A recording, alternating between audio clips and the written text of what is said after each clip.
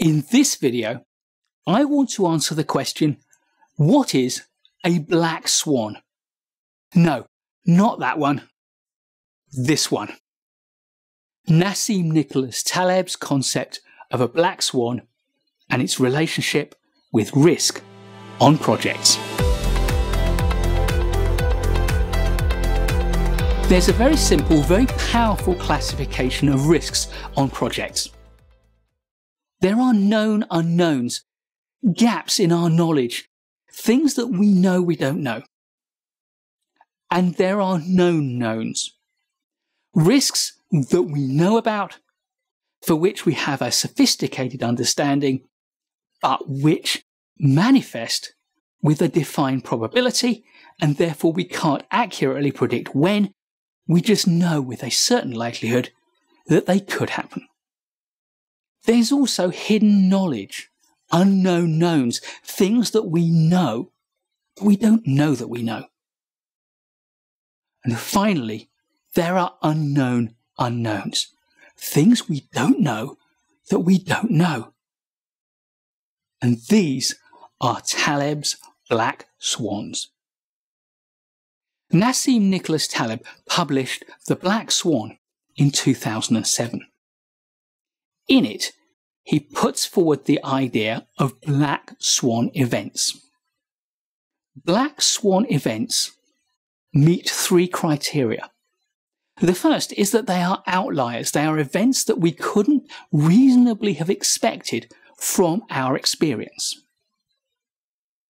Secondly, they have extreme consequences. The impact, whether for good or for ill, of a black swan event is huge. And thirdly, black swan events are explainable after they've happened. With the benefit of hindsight, we can see that they were likely, almost inevitable to have happened, and we can fully understand them. But without the benefit of hindsight, we couldn't reasonably have predicted them. The term black swan comes from a quote from the Roman writer Juvenal. In Latin, he said, Rara avis in terris nigroque simillima cygno. A rare bird in all the lands, and very much like a black swan. To ancient Europeans, all swans were white. There was no such thing as a black swan.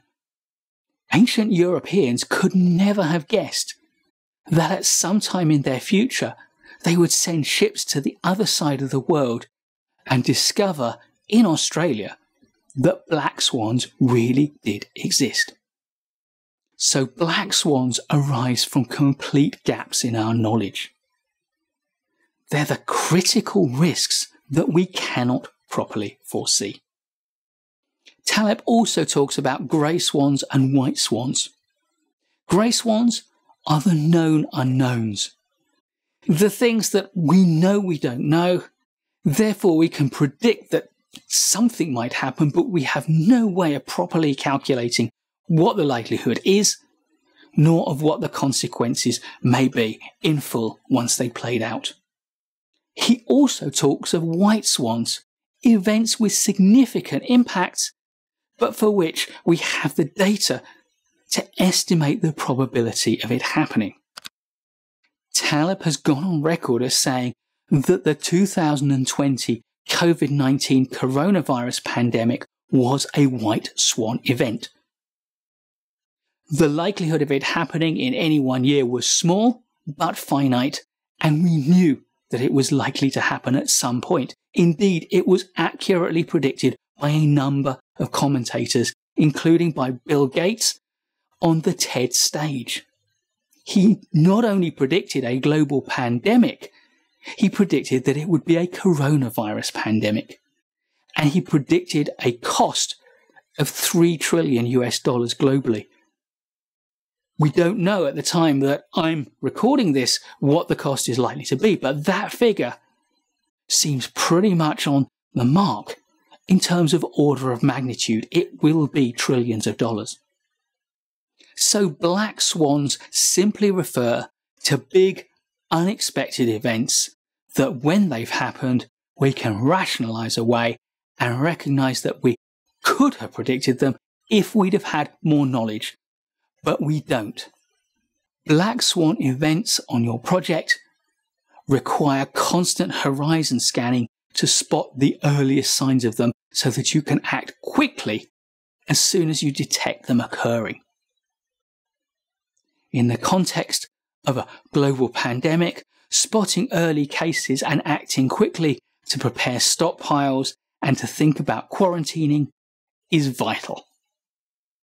On your project, you've got to be constantly alert for what's going to happen and constantly researching what's going on in the environment of the project. You can't predict a black swan event, but you can react quickly at the first sign of one. Please do give this video a thumbs up if you've enjoyed it. I'll be creating loads more great project management content, so please subscribe to our channel and hit the bell so you don't miss any of it. And I'll look forward to seeing you in the next video.